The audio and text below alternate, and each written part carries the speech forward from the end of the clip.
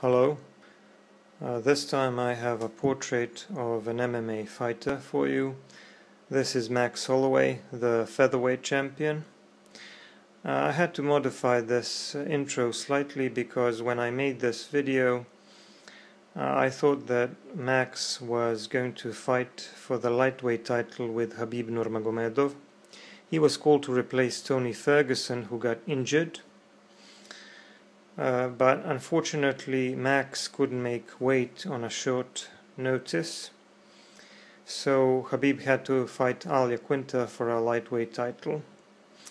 And here is my drawing of Khabib Nurmagomedov that I did earlier this year.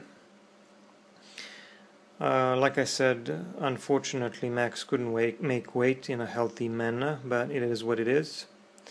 These two may fight uh, some other time in the future. Now we are going to put away this drawing of Khabib and I'm going to show you how I did this drawing of Max.